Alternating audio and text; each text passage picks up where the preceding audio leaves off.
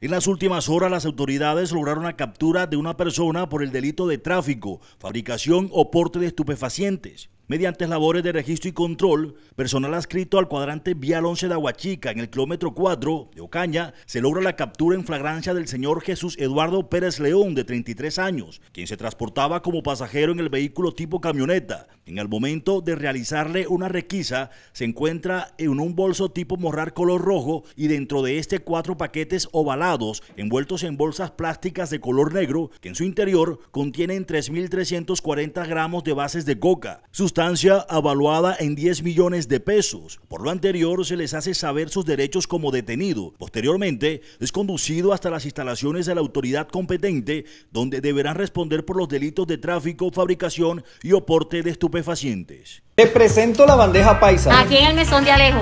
Se encuentra ubicada en el centro de la ciudad, diagonal a Tierra Santa. Mediodía en Valledupar y encontré un sitio cómodo para probar una bandeja paisa. La bandeja paisa lleva su respectivo chicharrón, arepa, chorizo, su carne molida, su tajada, sus huevos, su frijol y su respectivo aguacate. Siendo sincero, esta bandeja paisa es muy grande y tienes que venir con mucha hambre para poder terminarla, porque todos los almuerzos vienen con una rica sopa de costilla que te dejará a reventar. Y no podía faltar su aguapanela con limón mandarina. Definitivamente tienes que probar esta bandeja paisa. Responde esta pregunta. ¿Te darías para comer esta bandeja paisa? WhatsApp 302-342-3615, calle 17, número 7A-69.